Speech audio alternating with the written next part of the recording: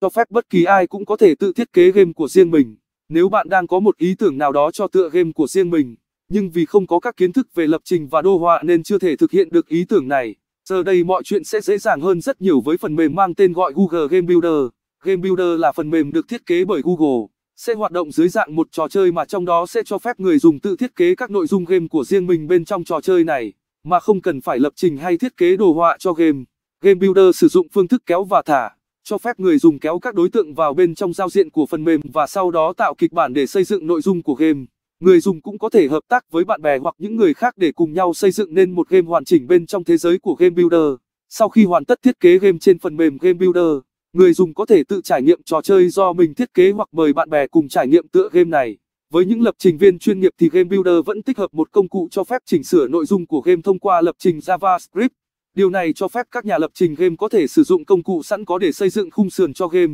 sau đó tự chỉnh sửa lại mã để giúp cho game trở nên chuyên nghiệp và hấp dẫn hơn. Google cho biết với Game Builder, những gì người dùng cần là một ý tưởng cho trò chơi và có thể dễ dàng thực hiện hóa ý tưởng đó bằng công cụ của mình.